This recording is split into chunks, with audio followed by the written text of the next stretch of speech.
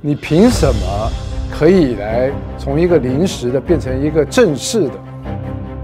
那这个标准是什么？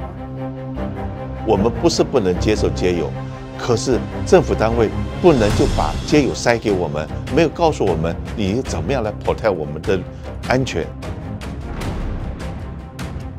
homeless，它跟两个 issue 常常会相关，一个毒品，一个是精神的问题。五月四号的公听会是我们唯一发声的机会，只有那一个小时，六点到七点，拜托大家为了你自己的权益，一定要站出来。这个重要的时刻，我们真的需要你的帮忙，感觉到我们坚定的立场，他们才会做出一些改变，否则的话就已经定案了，那可能就无力回天了。